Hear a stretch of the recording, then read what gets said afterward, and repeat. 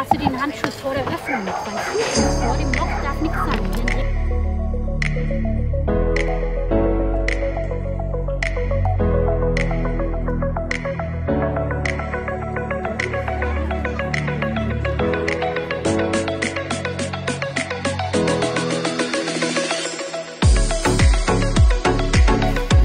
Mein Name ist Matthias Leublev, als Geschäftsführer der Jugendringe heute hier beim Weltkindertag äh, des Landkreises Nordwestmecklenburg und der Hansestadt Wismar zu Gast. Äh, da freuen wir uns natürlich auch ganz besonders drüber, dass trotz der vorhandenen Bedingungen wir diesen tollen Tag bei feinstem Wetter, also wirklich super Bedingungen, heute durchführen können.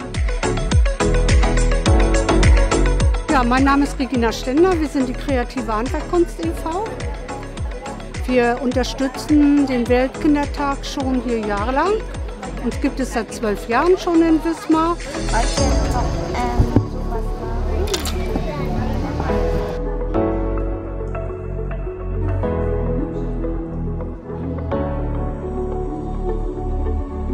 Wir haben an allen Veranstaltungen der Stadt, unter anderem jedes Jahr am Weltkindertag, mal teilgenommen weil erstens mal das für Kinder ist und äh, wir das gern gemacht haben. Ja, ich bin Tim, ich bin hier der Praktikant beim Stadtjugendring, Weltspieltag hier.